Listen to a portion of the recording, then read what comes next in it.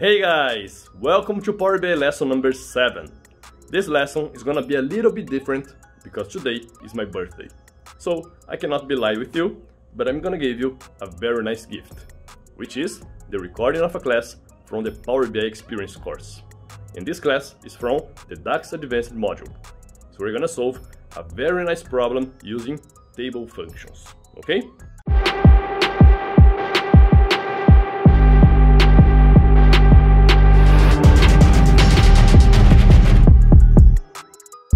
Hey guys, welcome to the last task of this mission. And this is a very nice one, because we're gonna use some table manipulation functions, and also we're gonna review set theory from math. Who in here remembers set theory during school? very nice, okay? Let's see. So, something very important to HPN is cross-selling. Um, this is the case of BCAA, um, this product, okay? Combined with whey protein. And these products are, they always need to, sell, to be sold together, okay? So for example, it's very important for the salesperson to sell BCAA together with whey protein. So whenever I sell whey protein, I have to sell BCAA together, all right? Those 35, 35 orders that did not happened is that I don't uh, that I didn't sell BCAA together with whey protein. The salesperson made uh, did not sell correctly. Did not sell correctly. Okay, so I have to compute from every every order that I sold whey protein. How many of them did not have BCAA? All right. So let's go to Power BI. First, let's do, let's do, uh, let's separate it, let's split this problem. Let's first compute how many, how many orders had whey protein, okay? Let's do this in a new measure, new measure, and let's do the following. Um, orders with whey protein. We know how to do that, right? Calculate, calculate, distinct count of order number, okay? And then we apply a filter on the subcategory name equals to, then we have to write the same way, whey protein. I love whey protein. whey protein. There we go. Let's see. Let's put it there, and like this. 90 orders. Let me see if there is any filter being applied in here. No, I think not. Let me see. Yeah, no, there isn't. All right. Now, let's see how many orders did not have BCAA. Okay, we're not going to mix right now. So let's do the following let's do this and another measure, new measure. Or the opposite, let's see how many orders have had, had BCAA with BCAA. So we have here BCAA, like that. Mm -hmm. Let's put in another card.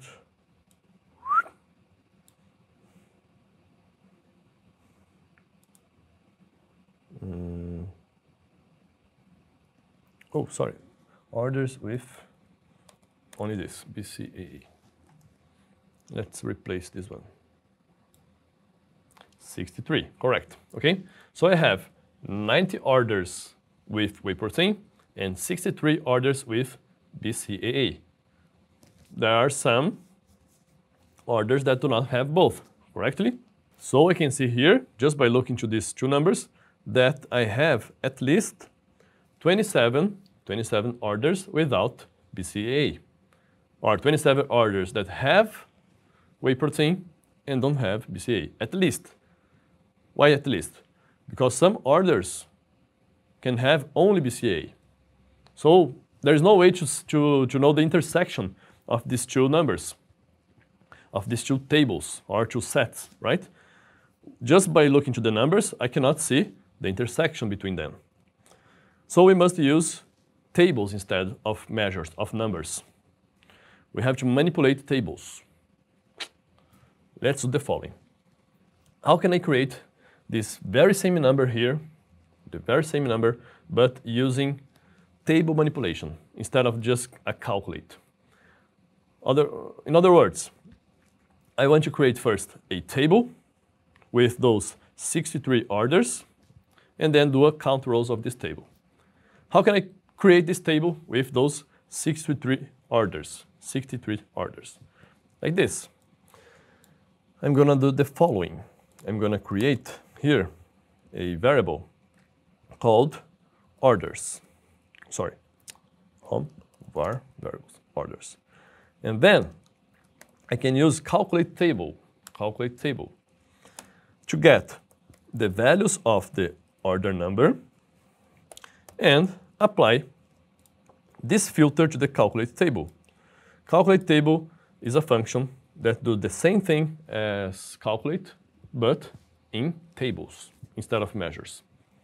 So see here, what do I have? What do I have in this in this variable? I have all orders, a table with 63, 63 rows, because I'm applying a filter there. If now I return a count rows of these orders, I'm going to have the same number. But I calculated in a different way, using calculate table, and then count rows. See, not going to change. All right. Now, this is the fun part. Let me go, let me create now inside the same inside the same measure, okay, inside the same measure, I'm going to call this actually orders BCAA. And I'm going to copy all of this home, Control V, and BCAA. And here, whey protein, whey protein. And this is going to be whey protein, whey protein. So I have here two variables. In each of these two variables, a table, a set, okay?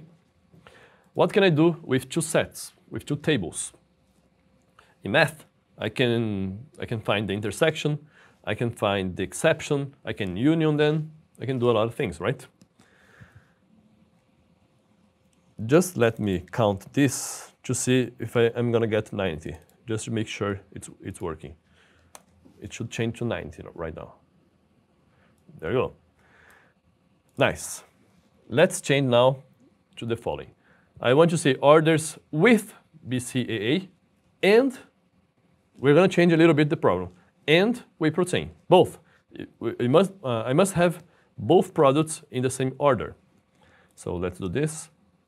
And whey protein. How can I do this?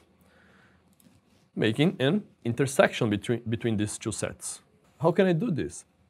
Here I have, in the DAX language, a very nice function called intersect that makes this intersection. Variable v intersect or result, okay? So I don't need to change this text later. Result. Intersect between those two tables, okay? It doesn't matter the, the order for this one. Mm, BCAA and whey protein. This intersection gives me a table, just with the intersection for those two sets, for those two tables.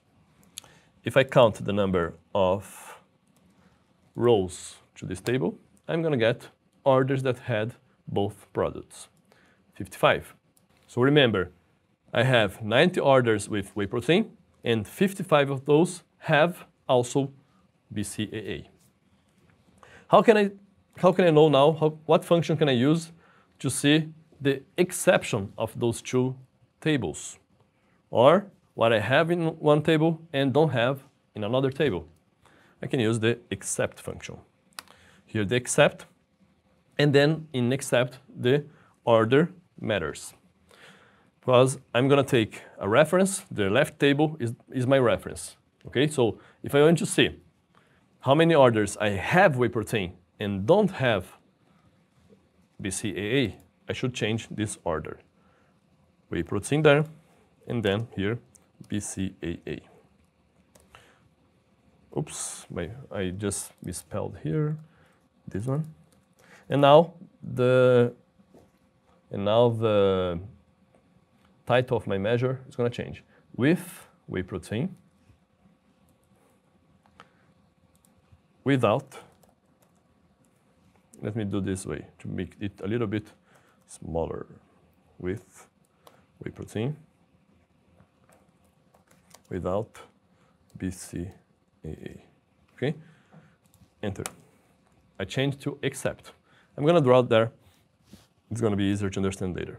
35. There you go. 35. That's what I get in the total. All right? Let me get rid of this. Now, let me put this way. I'm to use that matrix that I have in my solution. This one,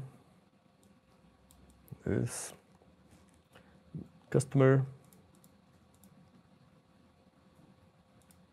customer, customer, month on the axis, month chart, there you go, and items, orders, yeah, here. Mm -hmm.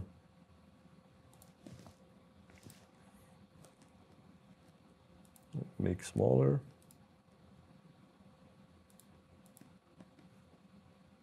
There you go. This is our solution. All right? So these are all orders that I have had whey protein and didn't have BCAA. Let me save this and I'm going to show you in my board this difference, okay? There's different functions. Let's try to understand better in here. Okay, so here I have this page. Okay, so I have these two sets. The red one is for all orders with whey protein. And the black, all orders with BCAA. All right? So when I have these two sets and I want to see the intersection, I use the intersect function. And it, will give me the, this area here, right? This area. So this is the intersect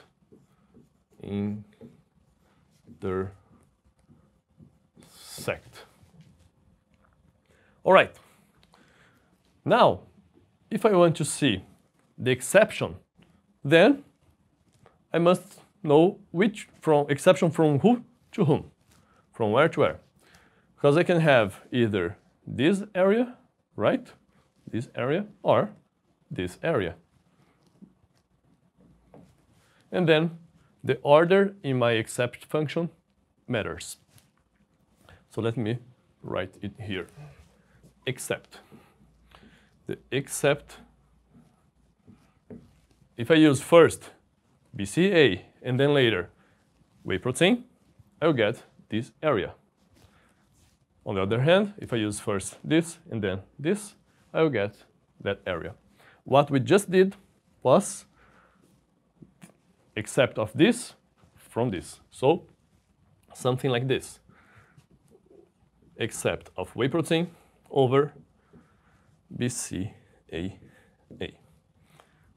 Okay, so this is our function, except I used those two sets, and I got 35 here.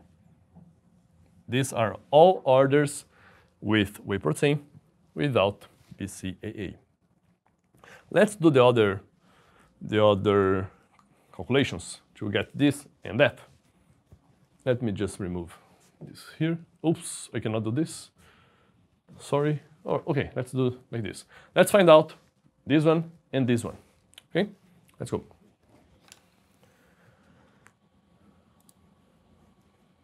Okay, so I'm just gonna change my functions in there. Where is it? Here. If I change this order, Okay, first BCAA, and then later. This, I'm not gonna worry about the title, the name of the measure, just the number. Let's see here, the number. Oops, eight, eight. Let me draw there. Where is my draw? Yes, here, eight, correct? So I have eight in here. Eight. Now let's find out this one, the intersection. Let me go there. And let's change from except to intersect. And then the order doesn't matter in this case. Intersect. 55. 55. So I get here 55. 55. If I sum up these numbers, I'm gonna get, I'm not, sorry, I'm gonna have, let's see, uh, 98, right? No, sorry, 98, yeah, 98. All right, guys. So these functions, these table manipulation functions are very powerful. You can do a lot of calculations with this. For example, churn of customers, oh, or I want to see how many customers bought this month and bought last month, or how many customers bought this month and did not, bought, did not buy last month, and so on. Okay? I hope you enjoyed. See you in the next mission. And this is gonna be the last video from 2020. But don't forget that in January 4th, we're gonna repeat Power BI Week. So, if you missed the first edition of Power BI Week, don't forget that in January 4th, we're gonna repeat this event. Okay? I wish you a Merry Christmas and a Happy New Year. See you in 2021.